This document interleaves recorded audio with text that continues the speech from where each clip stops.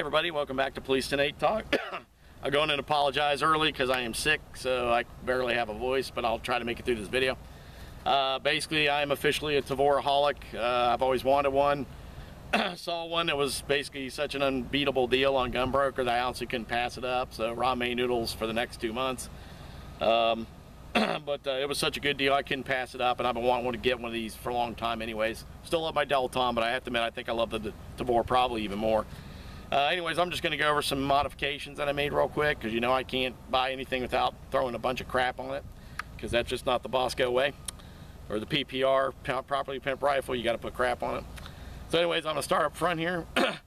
uh, this is a UTG ELP 38Q-A. Uh, this is their laser light combo. This is the red laser, not the green. They do have one that's green as well but there's about a hundred buck difference between these two between the red one and the green one. I don't need a green one that bad. Um, but overall it's a really good solid sight it was actually on my uh, on my Delton but I switched it over to this one because it actually seems to work better with this.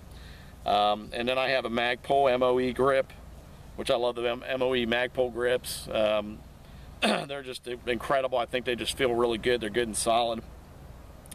And basically what I put them on is I, I replaced the original grip which I have. They still have the original grip, but I put in the aftermarket. This is a Midwest Industries uh, foregrip, um, which of course, as you can see, it's a KeyMod. It's got KeyMod all over the place. That's how I was able to mount the light and the pistol grip. On the bottom is with the KeyMod grips. it's real easy to install. It's literally just taking out two screws. There's a little lip on here, putting the lip in. You Sometimes you got to wiggle to get it on, but excellent, excellent uh, foregrip. And plus it's able you got lots of space in there, so you're able to let the gun cool off pretty good, which I've never had a heat issue with this gun anyway so far. Anyways, we're going to move on to the next batch. What I did was I uh, put a Bushnell TRS 25. These are, I think I got this for 80 bucks, I think it was. Um, probably one of the best red dots you can buy, especially for the money, other than the Holosuns, which if you watch our videos, I'm a fan of the Holosuns as well, but the Bushnell is an excellent, uh, excellent uh, sight for this rifle. and it's mounted on UTG Leaper's uh, one inch mount riser.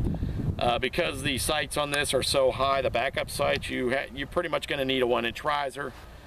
Depending on the type of optic you use, for many red dots, you're going to have to use at least a one inch riser, which with this riser, the uh, red dot perfectly co-witnesses with the sights, with the backup iron sights. And UTG uh, Leapers, like I said, this and the light, they're making some really good quality stuff nowadays. five, ten years ago, I probably wouldn't have bought a lot of their stuff, but nowadays their stuff, they've really stepped up their game. So if UTG Leapers is watching, you've done a really good job and up in the quality of your stuff and coming out with some really neat stuff. Lastly, what I'm going to go over is the actual butt pad. The original butt pad wasn't too bad. Um, this is actually Manticore Arms. As a company makes one, it's a little bit more curved, whereas the older one that came on it is basically more or less flat, and then it had like cuts in the top, but it had a real you really didn't have a lot of area on it, but this one's basically nice and curved. It's very rubber. It's got some real good grippy rubber on it. Uh, another thing is too is when you take this back pin out with this one, at least maybe it's just mine. This is really tight. Uh, you literally have to I have to wiggle the the pin to get it back in when I take this out. Um, so it may just be mine in general, but just to let you know, it is a little tight on this gun, which is not a bad thing. Uh, and anyways, it's literally just taking out these two screws at the bottom, putting it on and putting these two screws back in and you're good to go. And this was, I believe, $79 with shipping and handling, and I ordered this direct from Manticore Arms, uh, which got here real quick. Um, but anyways, uh, this is just going over a little brief description. Like I said, I apologize for my voice in basically some of the stuff I put on my new Tavor rifle. Uh, so remember to give us a like or subscribe.